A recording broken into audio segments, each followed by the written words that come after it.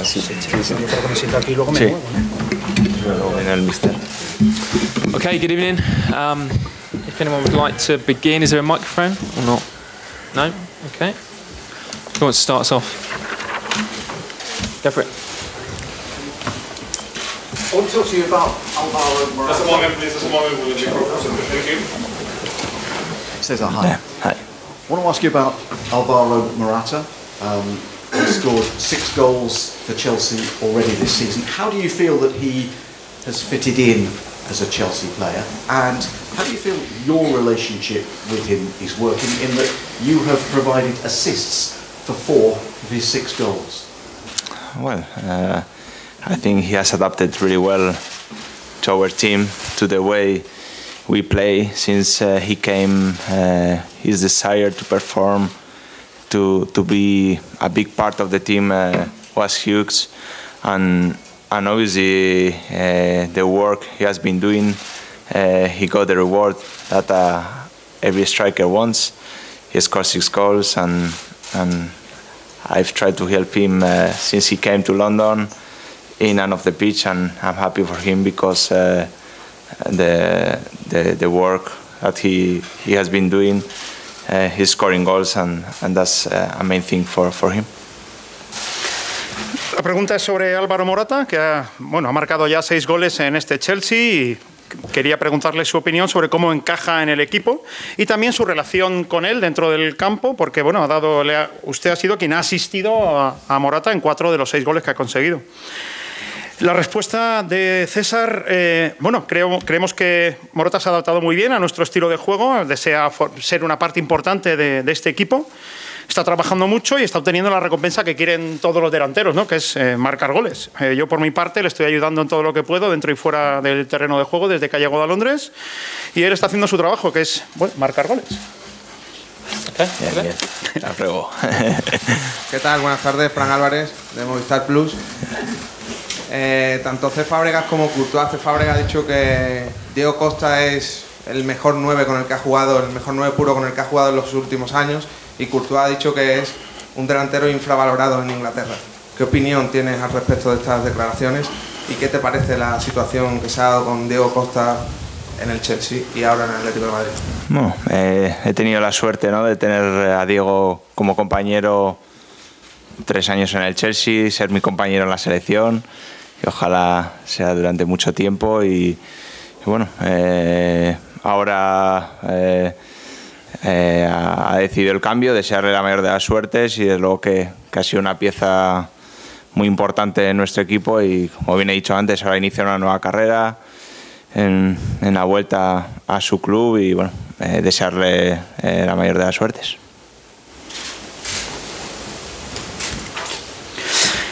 Uh, the question was about uh, Fabregas and, well, related to Fabregas and Courtois, talking about Diego Costa. Uh, Fabregas said that Diego Costa was probably one of the best uh, number nines, best strikers he's played with. And Courtois said he was an underrated player. Uh, what's your opinion of Diego Costa and what do you think of, you know, of this recent move to Atletico Madrid? And the answer, well, I was lucky enough to have played with uh, Diego Costa both in Chelsea and the uh, Spanish national team, where we, I hope to meet, uh, you know, again very soon. He's now decided to change, so I can say now is best of luck to him. You know, it was important for Chelsea while he was there, but now he's decided to move on, and like I said, uh, best of luck to him. Hola César, Javier Gudiño, Castilla-La Mancha Televisión. Eh, te quería preguntar si es posible por Morata en castellano y también qué Chelsea vamos a ver mañana. Un Chelsea pensando que la eliminatoria son 180 minutos, dos partidos, o un Chelsea que vaya ya desde mañana a por la eliminatoria. Bueno, eh, el Chelsea que, todos queremos ver eh, mañana es eh, un Chelsea valiente. Sabemos que, que venimos a un campo complicado contra un equipo con mucha experiencia en la competición en, en las fases finales. Y bueno, eh, nosotros después de estar un año fuera de la competición eh, tenemos ganas de, hacerlo bien. Sabemos que, que mañana va a ser un partido complicado, pero bueno, nuestro objetivo va, va a ser eh, intentar llevarnos los tres puntos haciendo nuestro juego y bueno, sabiendo que, que tenemos que hacer un, un partido perfecto para, para, para ello.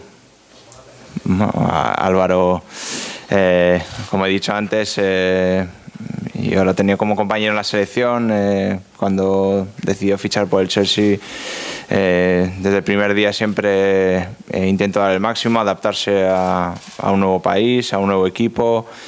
Y bueno, todo el trabajo que, que ha hecho desde el primer día pues está siendo recompensado con, con goles, que al final un delantero vive de ello y bueno, ojalá que, que siga en esa línea.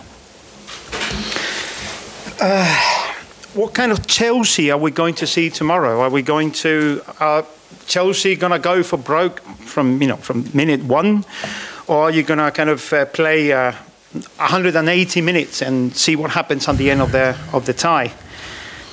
Well, I, I, expect to see uh, uh, the answer. I expect to see a brave Chelsea tomorrow. We we know we are facing a highly experienced team in the you know in the competition. It's a complicated pitch. But us, after being one year away from Europe, we just really want to do it right. We know it's complicated, but we're going to try and get the three points. We're going to play our game, and but we know we have to play a, a perfect match in order to get those three points. And then when he spoke a little bit about uh, Alvaro Morata in, in Spanish, it's basically the same thing as before. He's, since he's decided to come to Chelsea, he's done he's you know he's done his utmost. He's adapting to a new country, to a new team, and his work has been uh, compensated or rewarded with with goals, which is what uh, what strikers want uh, the most. Okay, over there. Aquí, César Héctor González, Cadena Ser. Eh, no sé si crees que este es el mejor Chelsea de los últimos años, el más candidato a luchar otra vez de nuevo por el título, o crees que el equipo ha perdido un poco respecto al año pasado por la marcha de Diego Costa. Bueno, eh, es difícil no considerarte como favorito en la competición, como he dicho antes, cuando hemos estado un año fuera. Eh, de, la competición más grande de Europa. Por supuesto que, que queremos hacerlo bien. Eh, hace cinco años el Chelsea fue campeón de Europa. En 2014 llegamos a, a las semifinales que, que, el Atlético nos eliminó y bueno, estamos en una, en una progresión que, que ojalá ¿no? Que, que, podamos hacerlo muy bien en esta edición, pero bueno, eh, el cartel de favoritos yo creo que, que aún es muy pronto y, y mañana es un, una, una, un buen test para, para ver dónde podemos llegar. Uh, do you think, uh, the question was, do you think this is the best Chelsea in recent years? Uh, do you think it's ready to fight for silverware, or do you think it's a lesser team without Diego Costa? And the answer, well, it's been it's difficult to to to see us as favourites at the moment in the biggest competition, you know, in Europe. We've been champions in recent years. We've been uh, we got to the semi-final in in 2014 where Atletico uh, beat us. But we have a very good progression, so we hope to do it right. Uh, but of course, it's too early to see you know ourselves as favourites. And tomorrow it's a good test to see our level. Gentleman over there. Sí. Hola, buenas tardes. Javier de Diego, Radio Nacional de España. Quería preguntarte, César, eh, ¿qué opinas del Atlético de Madrid? Y si, a pesar de no haberse podido reforzar en el mercado de verano este año, le, le consideras candidato al título de la Copa de Europa. Gracias. Bueno, eh, claro que lo considero porque en los últimos años eh, ha estado en dos finales, eh, siempre ha estado luchando hasta el final. Es un equipo que, que lleva mucho tiempo jugando juntos con, el mismo entrenador, con el, la base del equipo prácticamente la misma. A pesar de que no han podido firmar en, este verano, lo hicieron en, eh, anteriormente para prever esta situación y bueno, eh, como bien he dicho, es un equipo que, sabe muy bien a lo que juega, que, siempre eh, va mejorando, va progresando y, y por supuesto que, que, en esta edición lo veo como, como uno de los posibles candidatos.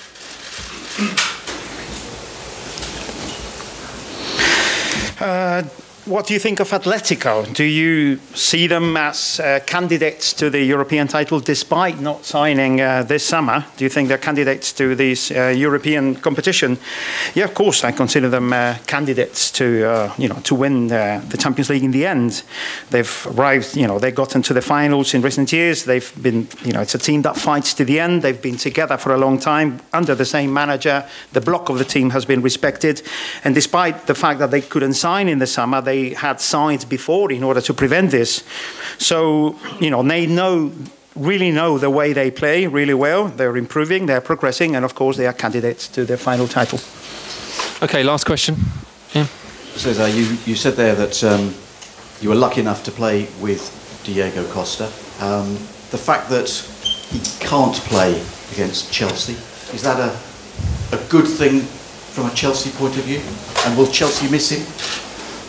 Well, uh, um, uh, now uh, Diego has moved uh, into into a new club, and we have to deal with it. Uh, obviously, now uh, we, we, have to deal without him, and obviously not to play tomorrow with Diego in, in Atletico is is better for us because, as I said before uh, I've been playing with him three years. Uh, we are uh, Spanish teammates, and he's a, a, a, very good striker, a top striker, and and obviously to not to play him tomorrow is is a little advantage for us.